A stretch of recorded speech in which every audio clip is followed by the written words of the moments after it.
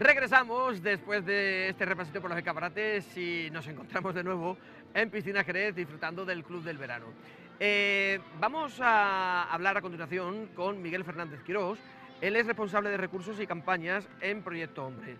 Miguel, muy buenas tardes. Buenas tardes. Bienvenido al programa. Gracias. Antes que nada, antes incluso de hablar de lo que es tu trabajo en torno a Proyecto Hombre, em, acaba de finalizar y se ha llevado a cabo durante todo el fin de semana un mercadillo importante en la vecina localidad del puerto de Santa María, organizado precisamente por Proyecto Hombre. ¿Hacemos balance? Bueno, eh, el mercadillo, nosotros lo que hacemos es que durante todo el año eh, se nos regalan, se nos donan cosas por particulares, las recogemos, si son cosas que son de, de un tamaño determinado, como sofá, muebles y demás, y durante lo vamos a- apilando en un almacén que tenemos del Ayuntamiento del Puerto y luego pues tenemos cuatro o cinco días de venta, depende de la fecha que nos dé el hotel. que nos ¿Dónde dé- desarrolláis el evento? El Hotel Puerto Cherry, pues, a lo mejor tiene cinco días libres, donde hacen ellos las bodas y los eventos, y nos vienen, nos dan cuatro o cinco días, y durante esos días es cuando se produce la venta. Solamente esos días. O sea, no tenemos una tienda ni nada, ¿no? Donde se pueda visitar la tienda y adquirir eh, este tipo de muebles No durante nada. el año. Solo exclusivamente en la fecha que tenéis determinada para el mercadillo. Que siempre cae en julio, casi siempre. Bueno, el balance ha sido, supongo, supo- eh, Sí, este año va mejor y que el año pasado. Lo que pasa es que, que hoy y mañana tenemos allí un evento, creo que hay una regata o algo, y nos han cortado un poco los accesos. Y vamos a ver cómo será estos dos días. Este mercadillo que vais a cabo es anual. Anual. O sea, Todos una vez al año. Sí. Eso por un lado. ¿eh? Eh, de todas formas, enhorabuena por el resultado del, del mercadillo. Y por otro lado, eh, hemos comentado que eres responsable de recursos y campañas en Proyecto Hombre. Cuando hablamos de esa responsabilidad en concreto, ¿a qué nos referimos? Bueno, so- no solamente hacemos lo del mercadillo, ¿no? O sea, hacemos también una merienda al año, la solemos hacer en el Club Nazaret, eh, hacemos también una zambomba, eh, hacemos también una cena también, que hacemos en octubre ahora, y todo ello pues para recaudar unos fondos que hace con la crisis, hace 8 o 10 años, pues nos hemos visto obligados a salir a calle.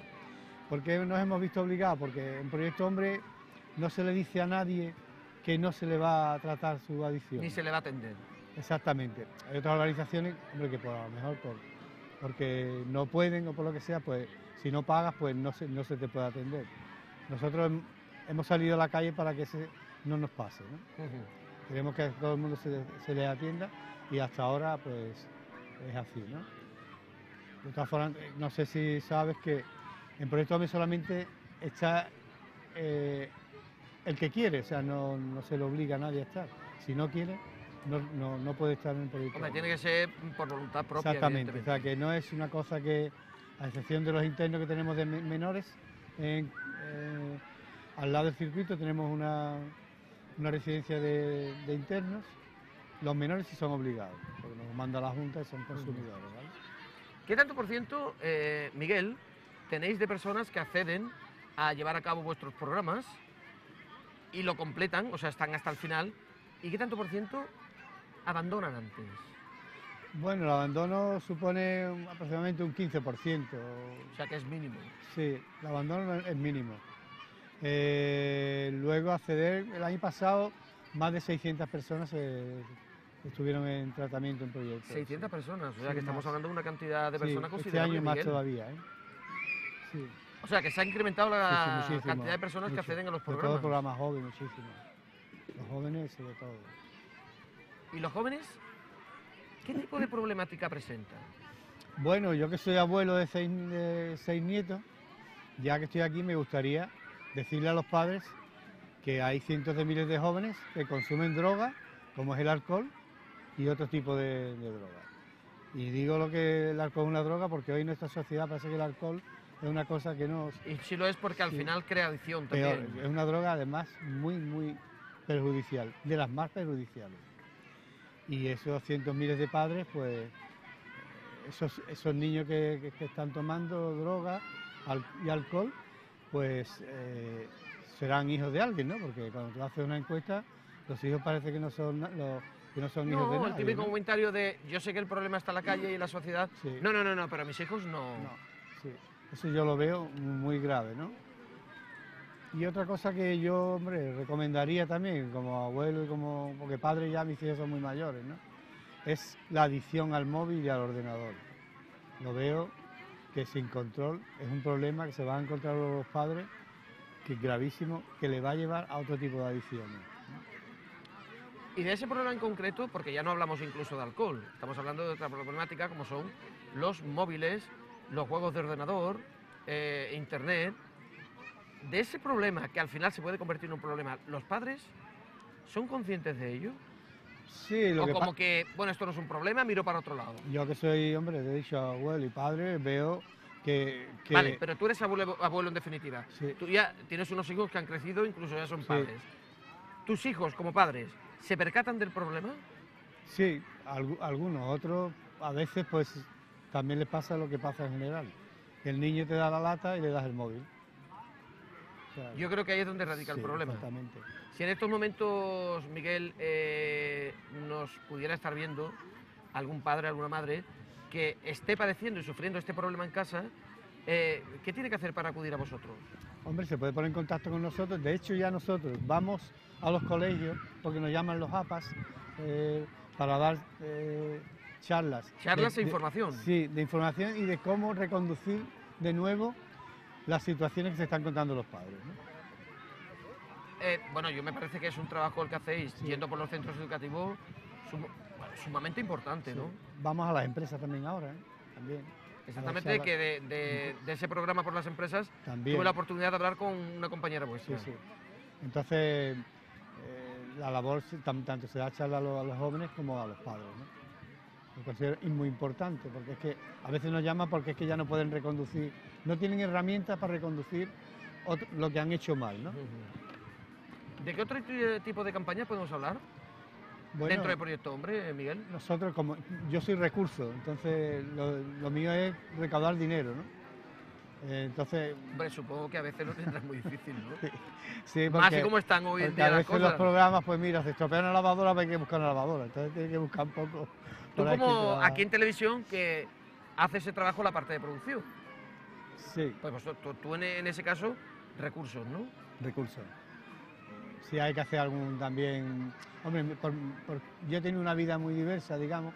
He tenido un comercio durante 40 años y una, mi familia toda es comerciante. Entonces, mi vida ha sido un poco que, que me he movido en muchos ambientes. o sea que tampoco lo tienes muy difícil. No, no lo tengo difícil. Porque, verás, llevo muchos temas y ahora, por ejemplo, pues a lo mejor algún presupuesto, los presupuestos de proyectos. Miguel, mira, nos hace falta buscar pues, a ver quién nos puede arreglar el aire, o puede arreglarnos la cámara, o quién nos puede, en fin, o buscar cualquier cosa de material para... Entonces, tiene- lo, lo peor que llevo es pedir, ¿sabes? Pues yo en mi vida no he pedido nunca favores. Pues la llevas clara con el, con, con el cargo que tienes. Ya, ¿eh? pero... Aquí, aquí lo más importante, Miguel, es llamar a puertas. Sí, Bueno, importante es llamar y que te hagan caso también. yo me he reconvertido. Hombre, pues yo creo que es... No he pedido favores para mí, pero lo estoy pidiendo para proyectos. ¿no? Pues mira, Pero eso que te llevas también para casa, Sí. el poder ayudar a gente que lo necesita, ¿no, Miguel? sí. La verdad que es un trabajo que te satisface, ¿no? En eso España creo que es un número uno en voluntariado, ¿no? Sí, En- eh, en España en general, ¿no? pero si nos ceñimos a hablar de lo que es la ciudad de Jerez, yo tengo que decir que tenemos una ciudad sumamente solidaria. Sí, sí. Ya que estamos, podemos hacer un llamamiento y para terminar, Miguel, a aquellas personas que quieran trabajar o colaborar como voluntarios con vosotros, que siempre el trabajo del voluntario es importante y sumamente imprescindible para asociaciones, instituciones oficiales, ONGs, así que yo creo que el llamamiento podríamos hacerlo. Hombre, nos encantaría tener más voluntarios porque siempre hacen falta y también más socios, ¿no? Porque eh, casi el 80% de lo que es eh, el mantenimiento de la organización Proyecto Hombre son porque hay socios que aportan un dinero, pues 10 euros al mínimo al mes, ¿no? Y eso es la base de, de Proyecto Hombre, ¿no? Perfecto, pues Miguel Fernández Quirós, muchísimas gracias por este ratito en el programa, enhorabuena por todo el trabajo que hacéis, Gracias. el equipo, el amplio equipo que formáis Proyecto Hombre y que intentáis al menos paliar esa problemática que está a la orden del día ya no solo para con las drogas, sino con otros problemas como es el móvil, hemos comentado anteriormente, internet, eh, juegos de ordenador, que al final crea adicción también. Sí, sí. Crea adicción que lleva a otras adicciones. ¿eh? O sea que esto es, lo- un poco, sí, esto es un poco cadena. Sí, eh, hay adicciones que te producen que, que, que, que, incurras en otra, en otra adicción. En otro Por tipo ejemplo, de el adicción. alcohol. En el- Cocaína y claro, alcohol van muy unidos. Muy unido. Miguel, muchas gracias. A. Enhorabuena por el trabajo. No hay tiempo para más, nos tenemos que despedir, pero recuerden que les citamos ya para mañana martes. Saben que a partir de las 11 de la mañana tiene una cita con el Club del Verano. ¿Dónde? Pues aquí, en estas maravillosas instalaciones que no son otras que Piscina Jerez. Sean felices y hasta mañana.